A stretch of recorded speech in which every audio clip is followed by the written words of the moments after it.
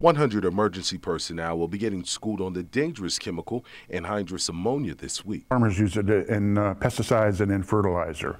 It's used in products for cleaning. It's a major industry uses it. It's, it's a very valuable, legitimate uh, uh, chemical. Unfortunately, uh, is also used for such things as methamphetamines. The whole purpose is to save property and life, and we want to be sure that our first responders are, are trained so that if they get into harm's way, they don't actually become part of the, of the uh, problem, that they are the solution. Emergency officials will be brought inside the railroad car before training begins on the top level, and they'll get their first taste of hands-on experience with the equipment used. It simulates some leaks that can be repaired or at least slowed down and controlled and, and until we can get an appropriate response waged, you know, to take care of the problem.